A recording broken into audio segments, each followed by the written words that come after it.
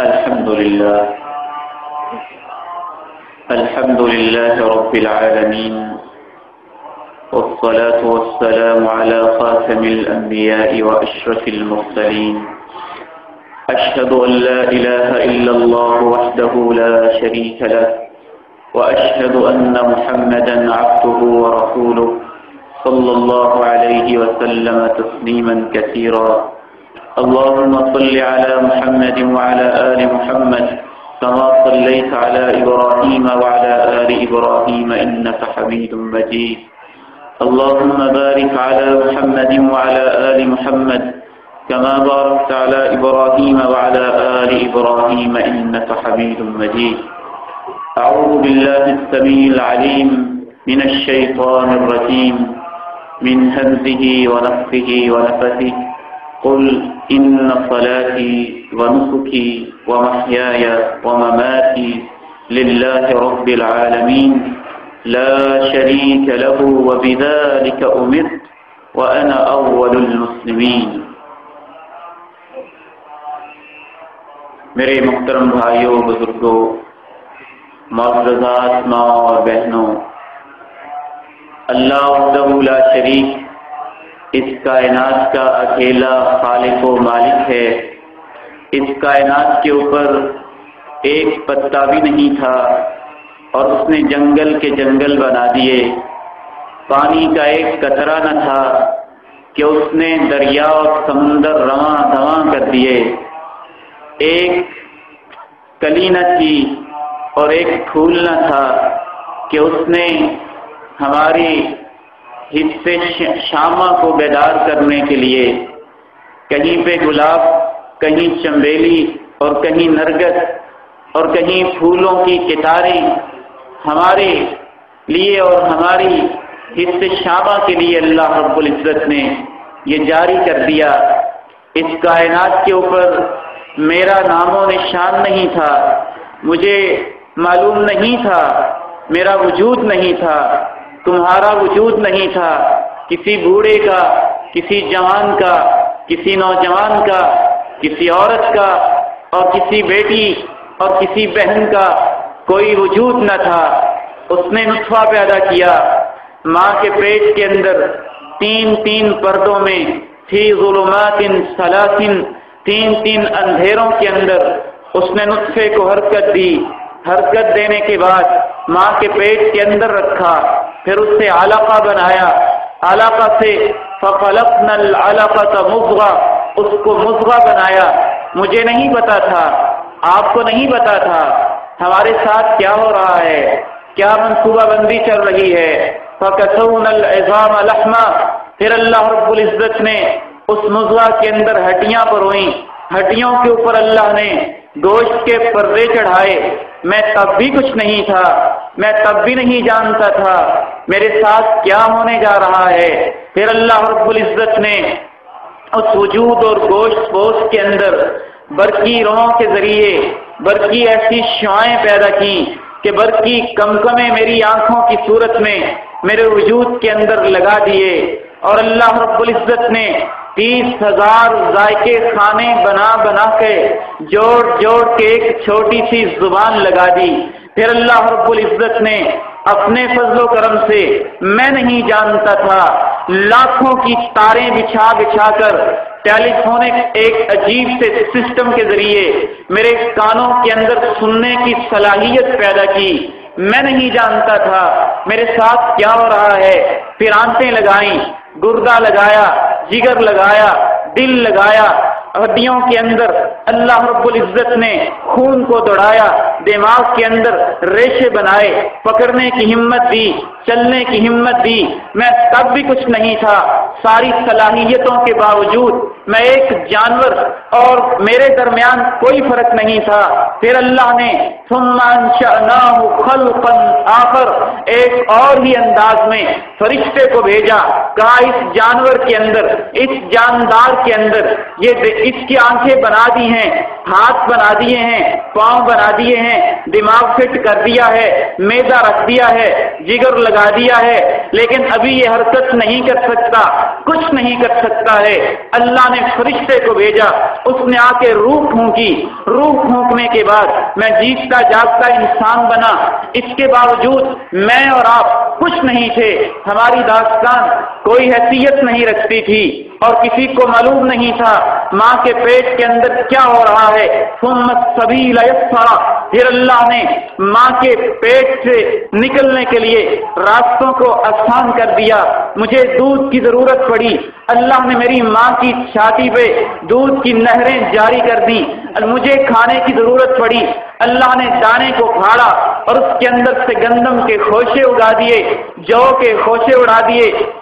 مجھے پینے کی حاجت ہوئی۔ اللہ نے زمین کے نیچے سے پانی کے چشمے اور آبشاریں، دریائیں اور نہریں رواں کر دی مجھے ضرورت ہوئی۔ یا اللہ، میں کچا نہیں کھا سکتا ہوں۔ مجھے تو اس کو پکانے کے لیے کسی چیز کی ضرورت ہے۔ افرائی تم النار التي تورون؟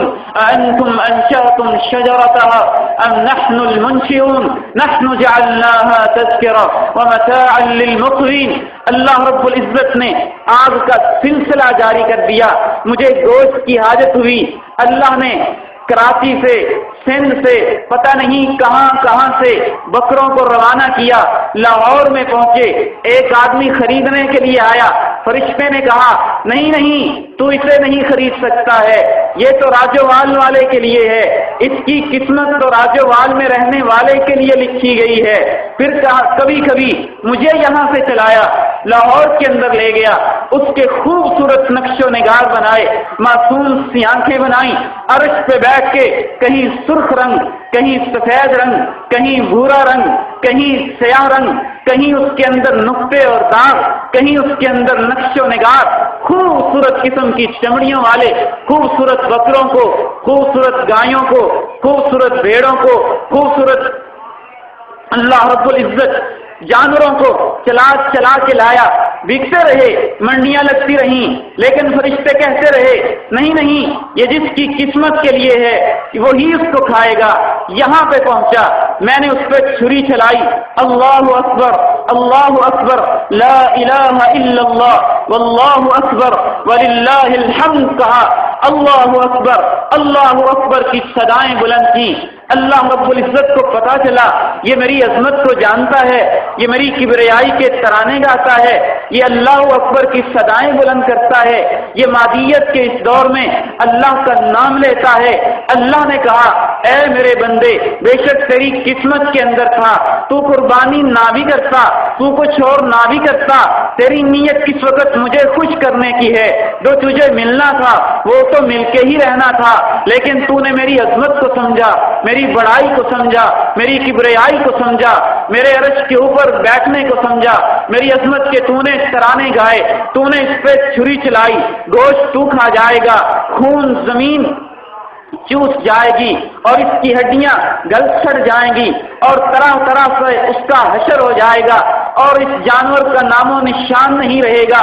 لیکن تو نے میری عظمت کو سمجھتے ہوئے جب بسم اللہ واللہ اکبر کہہ کے اس کے اوپر چھری چلائی ہے، خون کے پہلے ہی قطرے کے ساتھ اگر تو نے اس حقیقت کو سمجھ لیا ہے کہ اللہ سب سے بڑا ہے، تو میں نے تیری زندگی کے سابقہ سارے گناہوں کو معاف کر دیا ہے۔ حضرات محترم قربانیاں سکھانے کے لیے آتی ہے۔ اللہ اکبر اللہ اکبر، لا الہ الا اللہ۔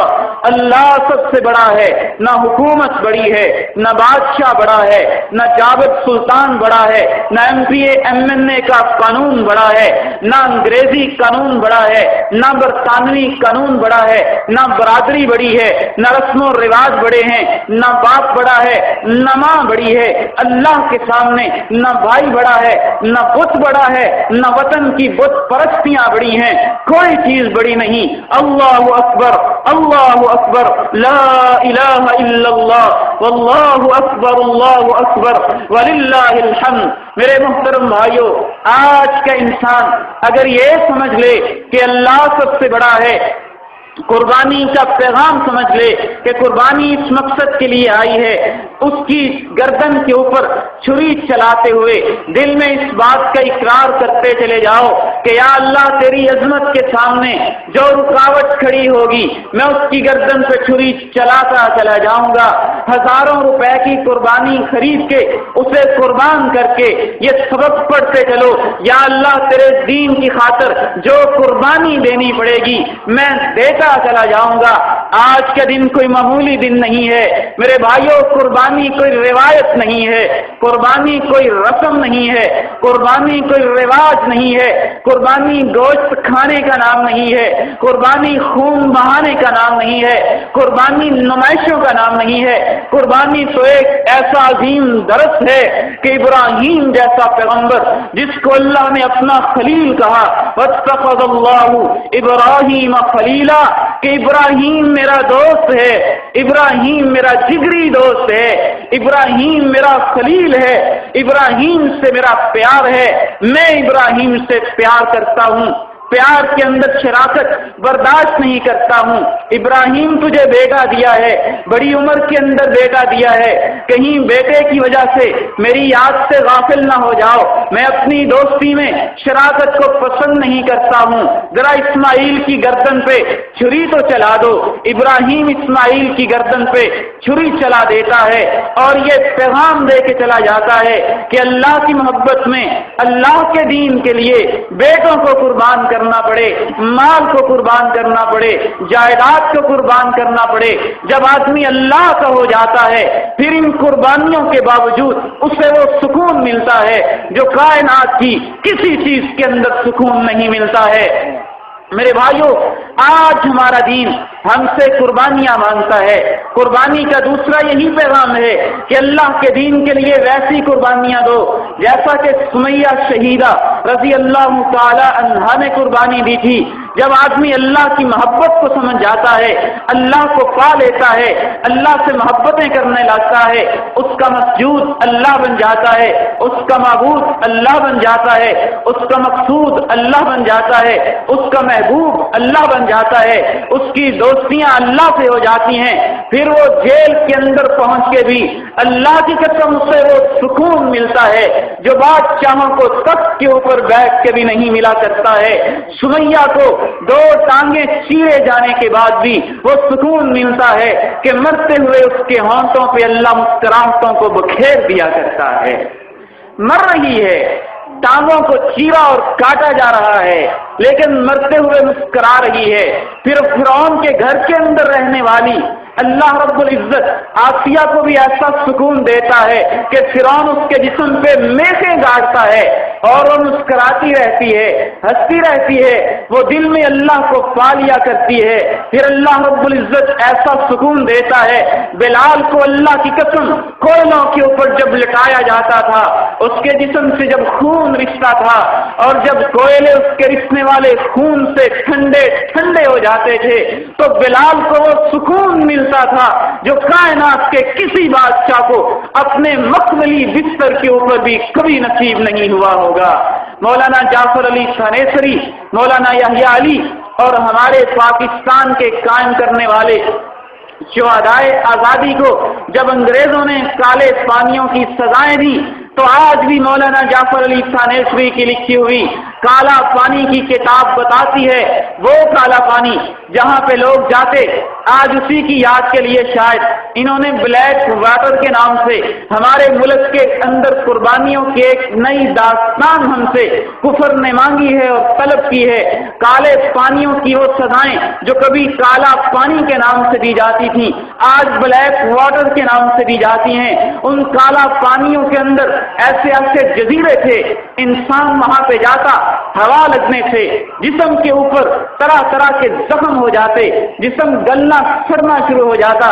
لیکن یہ وہ عظیم لوگ تھے، کالا پانیوں کے اندر پہنچ کے جب انہیں پھانسی کی سزائیں سنائی گئی سنائی گئیں، تو انگریزوں کی بیگمات نے دیکھا کہ پھانسیوں کی سزا سننے کے بعد مولانا یحییٰ علی اور جعفر علی تھانیسری اتنی خوشیاں منا رہے تھے اور ان کے اندر ایسے ایسے خوشی کے لڈو پھوٹ رہے تھے جو شاید کے کسی بادشاہ کو، بادشاہت کا تاج پہناتے وقت بھی نصیب نہیں ہوتے ہوں گے۔ حضرات محترم قربانی کا یہی پیغام ہے۔ گوشت تو ہم عام دنوں کے اندر بھی کھاتے ہیں۔ جب اللہ کی رضا کے لیے ہزاروں ہزاروں روپے خرچ کر کے آپ اندازہ تو کیجیے، قربانی سے تصور تو کیجیے، جب ہم قربانی کے بکرے کا گوشت کھاتے ہیں، یقیناً چھوٹی سی مثال سے سمجھ لیجیے، وہ سکون ملتا ہے، جو عام دنوں کے اندر نہیں ملا کرتا ہے، وہ خوشی ملتی ہے، جو عام دنوں کے اندر نہیں ملا کرتی ہے۔ میں اپنے نوجوان بھائیوں سے کہنا چاہتا ہوں۔ میں اپنی نوجوان بہنوں سے کہنا چاہتا ہوں۔ میں اپنی ماں سے کہنا چاہتا ہوں۔ میں گاہوں کی طرف چل چل کے جانے والوں سے کہنا چاہتا ہوں۔ آج کی اس دنیا میں تم نے اپنے گھروں میں پتھر کے فرش لگا کے دیکھ لیے، سکون نہیں ملا۔ سیم و زر کی کھنک تم نے دیکھ لی، سکون نہیں ملا۔ چاندی اور سونے کی چمک دمک دیکھ لی، سکون نہیں ملا۔ محلات بنا کے دیکھ لیے، سکون نہیں ملا۔ موسیقیاں سن کے دیکھ لی، سکون نہیں ملا۔ رقص گاہوں کی طرف قدم اٹھا کے دیکھ لیے، سکون نہیں ملا۔ نیٹ کیفے میں راتیں گزار کے دیکھ لی، سکون نہیں ملا۔ فلموں کے سامنے تین تین گھنٹے آنکھیں پھاڑ پھاڑ کے بیٹھ کے دیکھ لیا، سکون نہیں ملا۔ آؤ، اس دل کو، اس جگر کو، اس ٹکڑے کو۔ اللہ کی قسم ہے، اللہ نے بنایا ہی اس لیے ہے کہ اللہ پیدا کرنے کے بعد انتظار میں بیٹھ جاتا ہے۔ ہاتھ بنائے، آنکھیں بنائی، پورا وجود بخشا اور اس کے بعد اللہ انتظار میں بیٹھ گیا۔ میرا بندہ کب آتا ہے؟ مجھے سجدہ کرتا ہے، میرے لیے نماز پڑھتا ہے۔ جب تک اللہ کی اس خواہش کو پورا نہیں کیا جائے گا، انسان کو کبھی سکون نصیب نہیں ہوگا۔ میرے نوجوان بھائیوں اور میرے بزرگوں، میری ماں اور بہنوں، آج کے اس دور میں اللہ کی قسم ہم قربانی کو کرتے ہیں، قربانی کی اس معصوم جانور کے اوپر چھری تو چلاتے ہیں، لیکن اس کے ساتھ ساتھ ہم محمد عربی صلی اللہ علیہ وسلم کی سنتوں کا بھی خون کرتے ہیں، ان کے اوپر بھی چھریاں چلاتے ہیں، ان کے سینے کو بھی زخمی اور چھلنی کرتے ہیں، ان کے سینے کے اندر بھی ہم تیر چبوتے ہیں، زخم لگاتے ہیں۔ ان کی سنتوں کو قتل قتل کر کے آج اس زمین پہ اتنا خون بہ چکا ہے، آج اس زمین کے اوپر اتنے زنا ہوتے ہیں کہ اگر اللہ کی طرف سے اجازت ہوتی تو زمین پھٹ جاتی۔ آج اس پہ اتنی عزتیں لوٹی گئی ہیں۔ اگر اللہ کی طرف سے اجازت ہوتی تو سارے کے سارے انسان بندر اور خنزیر کی شکلوں میں تبدیل ہو جاتے، آج اس زمین کے اوپر اتنی فوج قسم کی فلمیں دیکھی اور دکھائی جاتی ہیں۔ اگر اللہ کی طرف سے اجازت ہوتی تو ہمالیہ پہاڑ کی چوٹیاں بھی انسانوں کے گناہوں کو دیکھ کے ریزہ ریزہ ہو جاتی۔ آج اس زمین کے اوپر اتنی شرابیں پی گئی ہیں۔ اور اتنے نشے کیے گئے ہیں۔ اگر اللہ کی طرف سے اجازت ہوتی تو فوری طور پر قربانی کا بکرا بول بول کے کہتا کہ پہلے اپنی ذات کی قربانی تو دو، پہلے اپنی خواہش کی قربانی تو دو، پہلے اپنی رسم کی قربانی تو دو، پہلے اپنی دوستیوں کی قربانی تو دو، پہلے اپنی قربانی تو دو۔ میں تو اللہ سے پیدا کیا ہوا جانور ہوں۔ میرے اوپر تو جب چھری چلاؤ گے، چلی جائے گی۔ میرے محترم بھائیوں مائیکل جیکسن دنیا موسیقی کا بادشاہ تھا، ساری دنیا کے نوجوان اس کی موسیقی اور گانوں کو سن سن کے لطف اندوز حاصل کرتے تھے۔ لیکن چونکہ اس نے اللہ والا سکون حاصل نہیں کیا تھا، آپ کے اخبارات کہتے ہیں کہ پوری دنیا کو سکون دینے والا اور پوری دنیا اس کی موسیقی کو سن کے سکون کی تلاش کرنے والی جب مرا تھا، اس کو وہ سہولتیں میسر تھیں جو ہمارے ملک کے اندر صدر کو یا وزیر اعظم کو حاصل ہوں گی۔ اتنی بڑی ناز و نیم کے اندر پلنے والا مائیکل جیکسن جب مرا تھا تو اس وجہ سے مرا تھا کہ اپنے جسم کے رگ رگ ریشے ریشے کے اندر رات کو سکون کے ٹیکے لگوایا کرتا تھا۔ نیند نہیں آتی تھی۔ سارا دن گانے بجانے کی محفلوں میں گزارنے کے باوجود سارے اخبارات اس بات کی گواہی دیتے ہیں۔ لیڈی ڈائنا، جس کے حسن کی داستانیں آج بھی جگہ جگہ پہ پھیلی ہوئی ہیں۔ اس کے مرنے کی بھی یہی وجہ تھی کہ ضرورت سے زیادہ اور انتہائی کثیر مقدار کے ساتھ نشاور سکون آور رات کو گولیاں لے کے سویا کرتی تھی۔ تب جا کے اس کی آنکھیں بند ہوا کرتی تھی۔ حضرات محترم، اللہ سے دعا ہے کہ قربانی کے ان دو پیغاموں کو سمجھنے کی اللہ تعالیٰ توفیق